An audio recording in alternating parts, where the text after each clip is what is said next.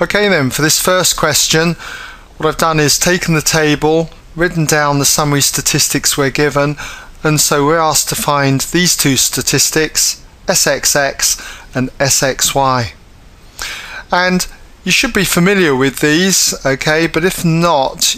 generally they're given in the formula book, okay, so you could look them up, but I would encourage you to learn them.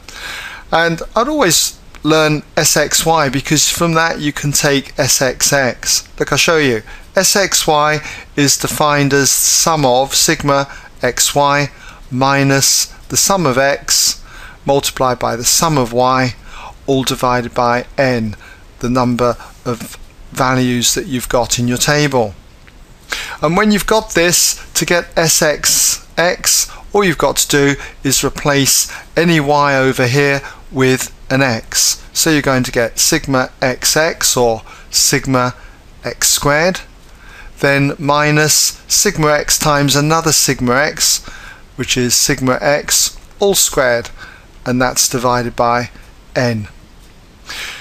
And to work these out then all we've got to do is just substitute the various values here into these two formulae. So when we do the first one then we're going to have 188 minus 41 all squared over the number of values that we've got here which amounts to 10 so just divide that by 10 and that works out to exactly 19.9